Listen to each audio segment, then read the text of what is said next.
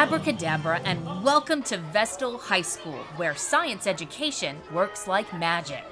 Each year, the high school's chemistry class hosts area elementary students for a demonstration of scientific principles. What they see is not your average lesson.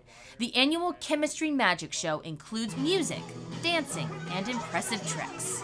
Fourth grade students from Tioga Hills Elementary were dazzled by explosive experiments. So many times we lose the fun of going to school and learning. And so this is all about sharing the joy of seeing science in action.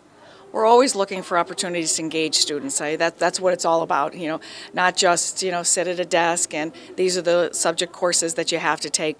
The show is designed to ignite a love of science in younger children, and it seems to be working. I think this is amazing. I think it's one of the best shows I've ever seen.